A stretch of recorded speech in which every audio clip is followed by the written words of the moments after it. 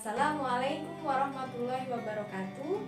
Selamat pagi anak-anak kelas 9 Mari kita awali pembelajaran hari ini dengan mengucap basmalah bersama.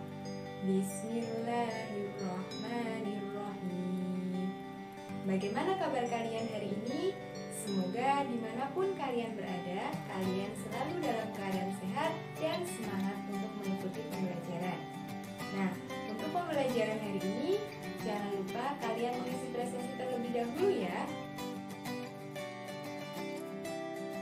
Pada pertemuan hari ini, kita akan mempelajari tentang kesebangunan bangun datar. Tujuan pembelajaran yang ingin dicapai, yang pertama, dengan menonton video pembelajaran, peserta didik dapat menentukan kesebangunan antar bangun datar dengan tepat. Yang kedua, peserta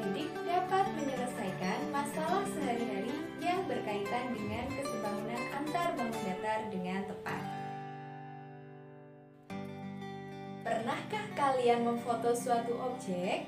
Atau pernahkah kalian menggunakan fitur optical zoom pada kamera?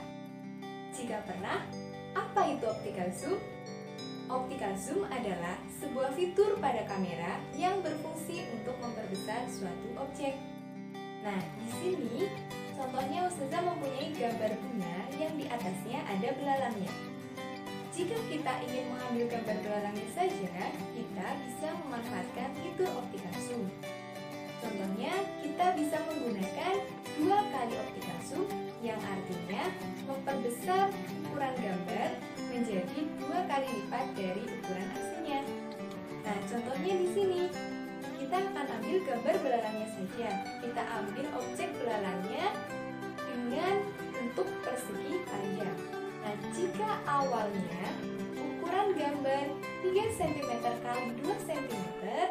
setelah kita melakukan dua kali optical zoom, maka gambarnya menjadi 6 cm kali 4 cm.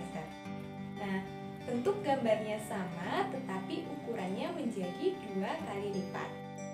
Itu adalah contoh kesebangunan dalam kehidupan sehari-hari. Itulah materi yang akan kita pelajari pada pertemuan hari ini. Coba kalian perhatikan gambar-gambar berikut. Yang pertama, pasangan persegi yang sebangun. Yang kedua, pasangan persegi panjang yang sebangun. Yang ketiga, pasangan belah ketupat yang sebangun.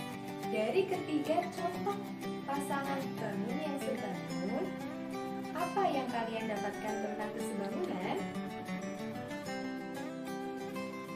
Dua bangun yang sebangun memiliki bentuk yang sama dengan ukuran yang berbeda atau tidak harus sama tetapi harus sebanding atau proporsional.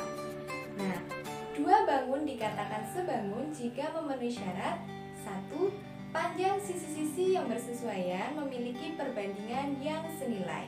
Dua, sudut-sudut yang bersesuaian sama besar.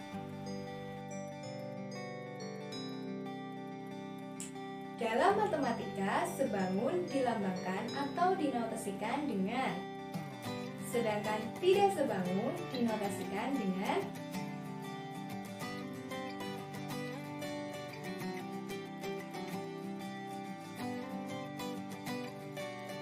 Apakah pasangan jajar genjang berikut sebangun? Jelaskan. Untuk menyelesaikan soal kesebangunan ini, kalian perlu melakukan dua langkah. Langkah pertama, periksa sudut-sudut yang bersesuaian. Pada jajar genjang PQRS dan jajar genjang EFGH terdapat empat sudut yang bersesuaian. Sudut pertama yaitu sudut P dengan sudut E. Besar sudut P 60 derajat dan besar sudut E 60 derajat maka besar sudut P sama dengan besar sudut E. Yang kedua, sudut Q bersesuaian dengan sudut F. Besar sudut Q 120 derajat dan besar sudut F 120 derajat. Maka besar sudut Q sama dengan besar sudut F. Yang ketiga, sudut R bersesuaian dengan sudut G. Besar sudut R sama dengan 60 derajat karena sudut R berada di hadapan sudut P sehingga besarnya sama. sedangkan sudut G besarnya 60 derajat karena berada di hadapan sudut E. Maka besar sudut R sama dengan besar sudut G. Kemudian yang keempat, sudut S bersesuaian dengan sudut H. Besar sudut S sama dengan besar sudut Q karena berhadapan yaitu 120 derajat. Sedangkan besar sudut H sama dengan besar sudut F karena berhadapan yaitu sama dengan 120 derajat. Maka besar sudut S sama dengan besar sudut H. Langkah yang kedua yaitu Periksa sisi-sisi yang bersesuaian. Sisi PQ bersesuaian dengan sisi EF, maka bisa kita tuliskan PQ dibanding EF. Karena PQ sama dengan RS, maka bisa kita tuliskan juga RS banding GH karena RS bersesuaian dengan GH sama dengan PQ tadi ukurannya 18 dibanding EF ukurannya 6 maka 18 banding 6 kita sederhanakan menjadi 3 banding 1 kemudian sisi yang kedua sisi QR bersesuaian dengan sisi FG maka bisa kita tuliskan QR per FG sisi QR sama dengan sisi SP dan sisi SP bersesuaian dengan sisi HE. Maka bisa kita tuliskan SP banding HE sama dengan kita masukkan nilainya 12 dibanding 4. Kita sederhanakan menjadi 3 banding 1. Perbandingan panjang sisi-sisi yang bersesuaian kita peroleh sama atau senilai yaitu nilainya 3 banding 1.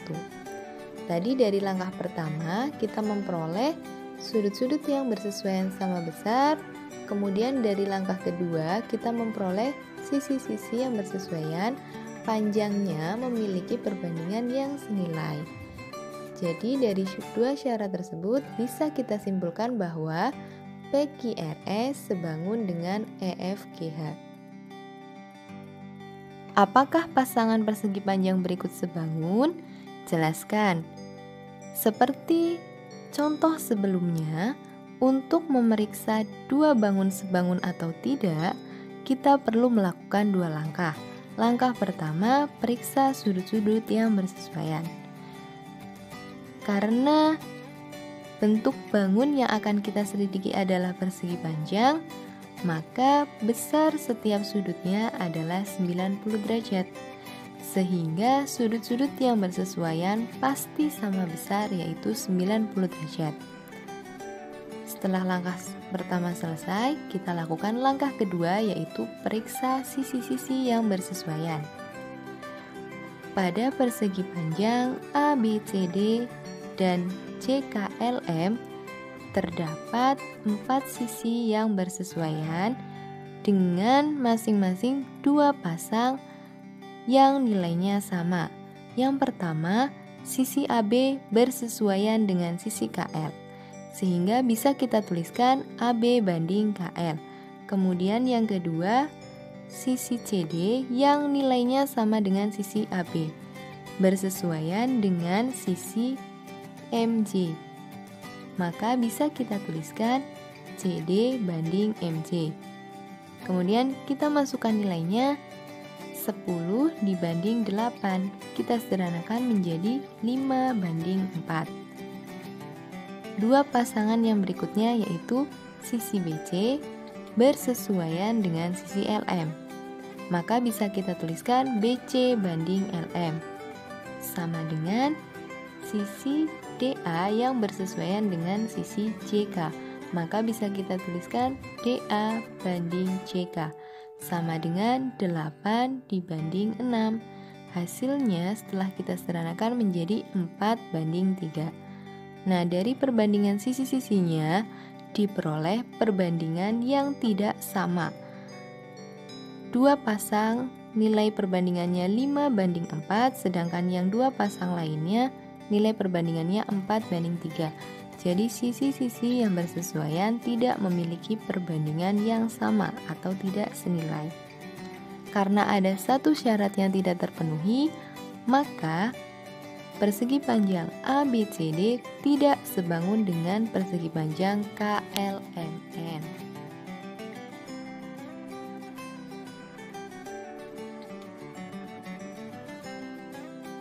Perhatikan gambar berikut. Jika EFGH sebangun dengan ABCD, maka hitunglah A. Nilai X, Y, dan Z B. Panjang EF dan AD Untuk menyelesaikan soal ini, yang pertama, kalian ingat dulu sifat trapesium. Untuk menemukan nilai X, kita ingat sifat trapesium bahwa jumlah sudut yang berdekatan di antara dua sisi sejajar sama dengan 180 derajat. Maka untuk mencari nilai X, kita bisa memperolehnya dengan 180 derajat dikurangi 127 derajat sama dengan 53 derajat. Kemudian, bangun EFGH sebangun dengan ABCD berarti sudut-sudut yang bersesuaian sama besar. Sehingga besar sudut D sama dengan besar sudut H. Dari sini kita memperoleh Y sama dengan 127 derajat.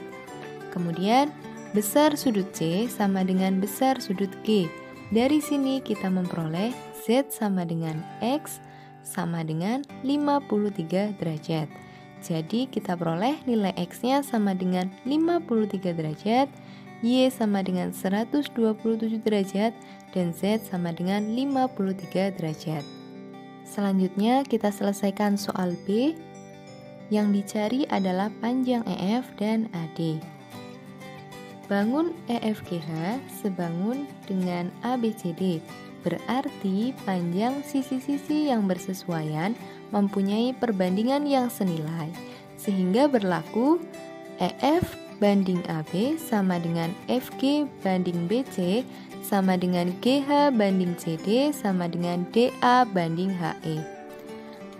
Pada gambar diketahui bahwa FG banding BC itu sama dengan 28 karena nilai FG-nya 28 dibanding 35 karena nilai BC 35 kita sederhanakan menjadi 4 banding 5.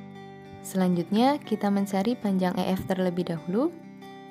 EF bersesuaian dengan AB sehingga EF banding AB sama dengan FG banding BC karena FG banding BC yang tadi sudah kita temukan nilainya.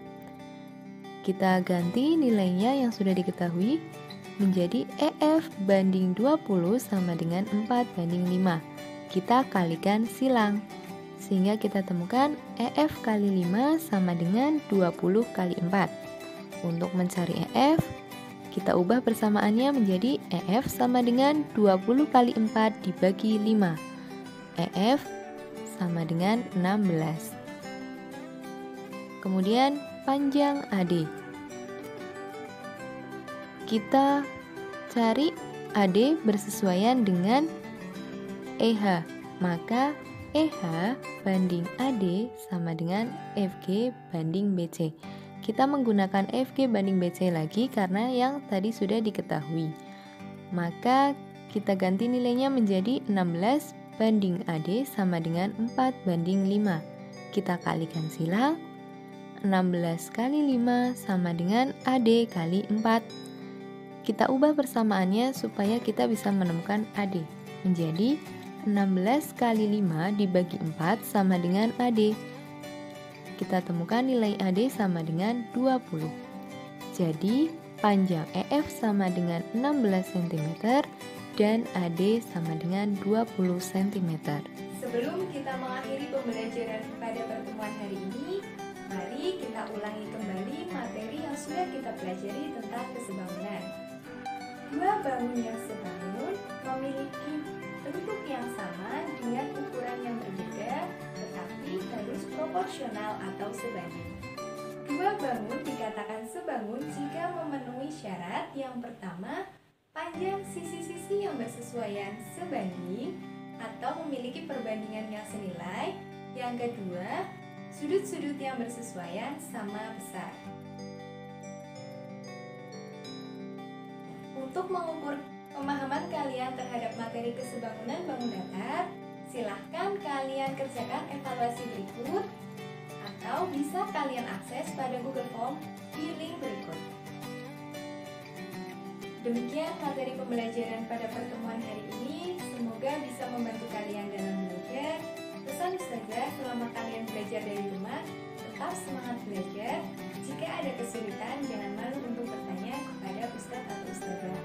Dan selama kalian di rumah, jagalah kesehatan kalian, terapkan 3M, memakai masker, menjaga jarak, dan rajin pembelajaran pada pertemuan hari ini dengan mengucap hamdalah bersama. Alhamdulillah.